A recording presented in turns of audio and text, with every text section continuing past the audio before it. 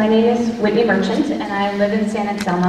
Hi, Um, I have a different perspective than a lot of people in this audience. I was actually a housing advocate for many years, and I want to, first of all, I'm probably about the only person in this room that actually read the detailed plans for WinCup and was involved in that before it was approved. So I want to explain some things about that project because there's a lot of misunderstandings and, and things about it. So we opposed that project. We went to the council and said that this project is going to be a disaster, and they just didn't listen to us.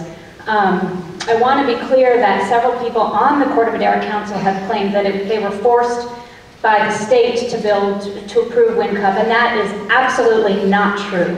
The state does not care about luxury, more luxury apartment buildings getting built in California. They're really more looking for below market rate, which WinCup is not.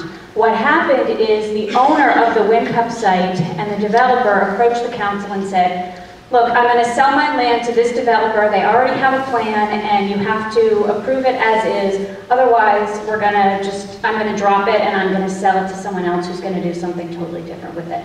So their hand was really forced by the owner of WinCup and um, the developer, it has nothing to do with the state.